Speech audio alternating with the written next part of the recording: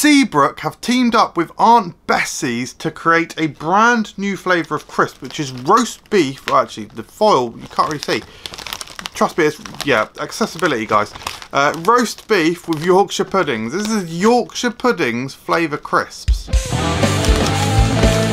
Hello everyone, welcome to Food Review UK, my name's MJ and welcome to this very special video which I'm very excited to bring you because thank you to Seabrook for sending me their new range of crisps. They've also got another bag which I'll be reviewing very soon which is roast potato and black pepper flavour and there's also a roast turkey and stuffing flavour as well. But I thought the uh, we'd open with the most interesting one which is a Yorkshire pudding flavour crisp which is just absolutely mental. Really nice to see Seabrook working with another brand We've seen them collaborate with other brands in the past, which has included what like Lea & Perrins uh, and also Alton Towers. I absolutely love that packaging on that Alton Towers one. Uh, yeah, so let's read out this information. Bringing people together with the traditional flavours of a roast dinner, these much loved brands have crafted this brilliant range of crisps just for you. Uh, yeah, nothing too specific about the roast beef flavour on there.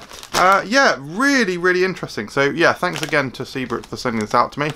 Um, just because they sent it to me doesn't mean that I'm going to lie and say it's good if it isn't. You can check out our Zeo Drinks review if you think that. That's interesting. You can definitely smell the beef of it, like typical beef crisp smell. But there's definitely this... I wouldn't have placed it as, as Yorkshire pudding. But there's definitely this, this interesting, really strong smell to it as well, like a I don't know. Oh, it's hard to place. Anyway, let's give them a go. Roast beef and Yorkshire pudding crisps.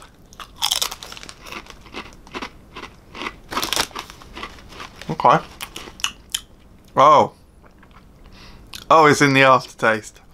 At first I was like, hmm, doesn't really taste of Yorkshire pudding, just tastes of like roast beef. But then the aftertaste hits. Oh, I got it in the middle then. That's mental.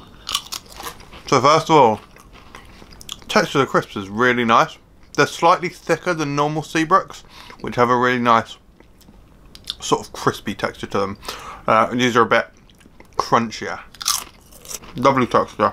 Lovely flavour of crisp and just really good quality. The beef, really nice. It's not overpowering either. Quite salty and just tastes like a typical sort of beef crisp flavour. But it's that suggestion in the background of the uh, Yorkshire pudding. Knowing it's there, you can definitely like conjure up the idea of it.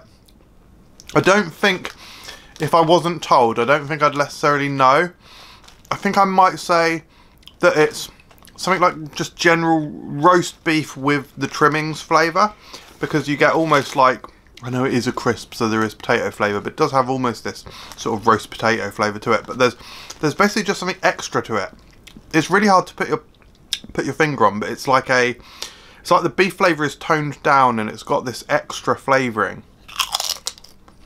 But yeah, knowing it's Yorkshire pudding, it definitely conjures up the images. It's really weird, actually. It's very odd, but it's very nice.